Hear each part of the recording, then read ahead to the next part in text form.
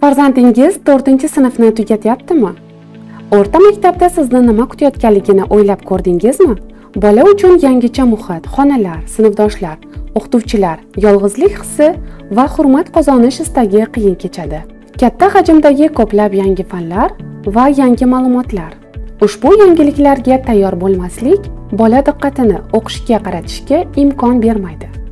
Oqibatda stress, o'zlashtirish va o'qishning pasayishi kuzatiladi. Oila davrasida vaqt o'tkazish o'rnini yarim tungacha bajariladigan uy vazifalari egallaydi. Natijada ota-ona farzand munosabatlari buzilib, farzandingizni o'zlashtirishi va o'ziga bo'lgan bahosi pasayib boradi. Lider onlayn 4-sinf o'quvchilari uchun o'rta maktabga tayyorlashning o'ziga xos dasturini taklif qiladi.